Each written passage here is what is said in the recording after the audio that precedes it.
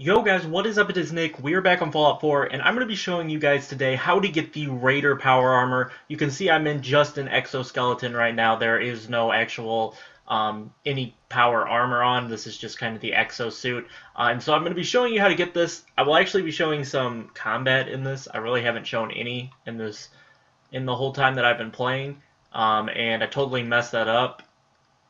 Hold on. Okay, we'll go about it this way.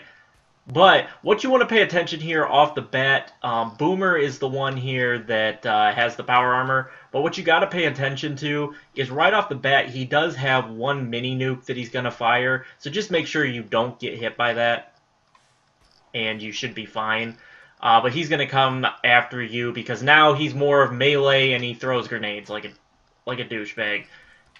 But he's pretty easy to take down. Um, he doesn't have too much health, uh, and you can just do this and back away from him because he can only punch you. so it's actually a pretty easy fight as long as you avoid that mini nuke. But there he goes down, and on him you're gonna get uh, fragmentation grenade, the Fat Man that he fired, the one mini nuke he had. Uh, you're gonna get some pocketed fiberglass combat armor right arm.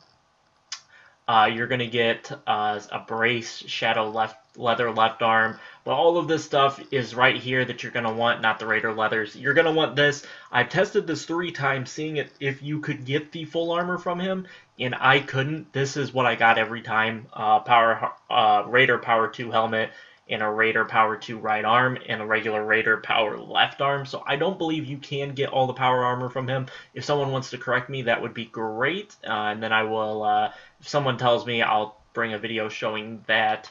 Is there still a guy, there's still a guy alive over there? Okay. Um, I'm going to go ahead and hop out of this to show you guys. So let's go ahead and throw the armor on right now. Uh, it's not really the coolest armor in the game, uh, but it is something different, and it doesn't look too bad. Uh, the defense is not the greatest on it, but if you're looking a little bit more of a different route, you want to go with your power armor, not the traditional route. Uh, this is definitely the way to go. Uh, this does not look like your traditional power armor. Definitely looks a lot different. Uh, doesn't give you the same uh, defensive benefits as um, as most power armors do. You can probably almost find better armor not in a power armor than this, but it is a power armor, so I thought I'd bring it to you guys. It's something I want, uh, adding it to the collection. I actually just stumbled upon this. Um, I'll show you guys exactly where it is now. Um, it is right here, uh, Outpost uh, Zimonja. So if you come right here, if you come to Tenpines Bluff, if you have that unlocked, or right here is Satellite Station Olivia, which was the, the thing that you saw in the background, and I said I was going to go check it out um, in the Hot Flame video, or the Hot Rod Flames video, here's robotics disposal, so it's about even um, uh, laterally to the right. Uh, so you can head that way to get it there, or you can go off of that, or Tenpines Bluff, also right here, is General Atomics Gallery. You can see that there, or Radio Tower there, or Recon Bunker Theta, which I really want to get that open. It's got to have something good in it. Um, so I'll be trying to figure out how to get into that, uh, but just to let you guys know. But uh, Outpost Zimonja is what it's called here. I almost thought you'd be able to make a settlement here. Maybe you can um, because it looks kind of like you'd be able to make a settlement here. There's kind of already some pre-set up stuff for like a settlement with power and a cooking station and there's some water and a generator.